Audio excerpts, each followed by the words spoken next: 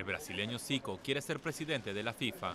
El exfutbolista reiteró este miércoles su intención de presentar su candidatura para presidir la organización. Me gustaría ratificar esta decisión que tomé de esta posibilidad de ser candidato en la FIFA en las próximas elecciones.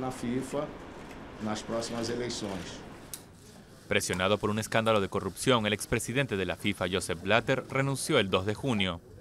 Siete altos jerarcas de la institución fueron arrestados en Suiza y son sospechosos de haber aceptado sobornos de varios millones de dólares desde los años 90.